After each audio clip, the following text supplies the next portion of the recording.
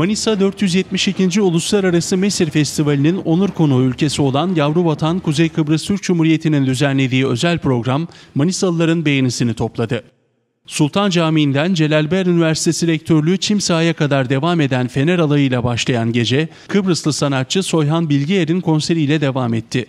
Fener alayına Kuzey Kıbrıs Türk Cumhuriyeti Başbakanı İrsen Köçük'ün de katılması ilgiyi arttırdı.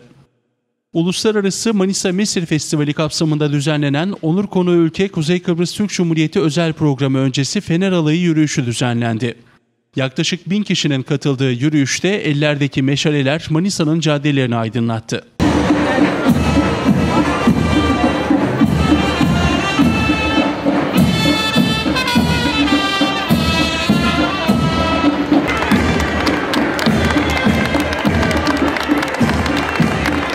Sultan Camii önünden başlayan ve Celalber Üniversitesi Rektörlüğü çim sahasında sona eren Fener Alayı renkli görüntülere sahne oldu. Fener Alayı yürüyüşüne Kuzey Kıbrıs Türk Cumhuriyeti Başbakanı İrsen Küçük, Manisa Valisi Halil İbrahim Daşöz, Manisa Belediye Başkanı Cengiz Ergün, eşi Şeyda Ergün, Başkan Yardımcıları Mesut Bayram Laçalar, Azmi Açıkdil, Nursel Usta Mehmetoğlu, daire müdürleri, sivil toplum örgütleri temsilcileri, festival için Manisa'ya gelen Çin Halk Cumhuriyeti, Bulgaristan, Özbekistan, Yunanistan, Makedonya, Macaristan, Fil Dişi sahilleri ve Kuzey Kıbrıs Türk Cumhuriyeti grupları katıldı. Yaklaşık 3 kilometre devam eden yürüyüşte Manisa ve İzmir'den motorize ekipler de yer aldı.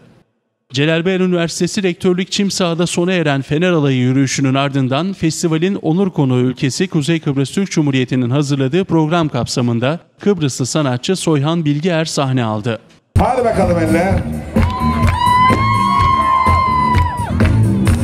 2011 yılının Ekim ayında Kuzey Kıbrıs Türk Cumhuriyeti'nde düzenlenen Avrasya Yıldızı adlı müzik yarışmasında birinci olan 37 yaşındaki sanatçı Zülfü Livaneli, Cem Karaca, Volkan Konak gibi sanatçıların şarkılarını seslendirdi. Eller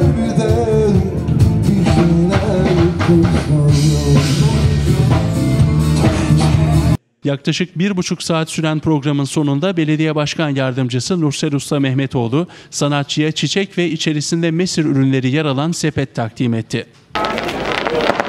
Evet Sayın Başbakanımız, konsolosumuz, Sayın Valimiz, Sayın Belediye Başkanımız,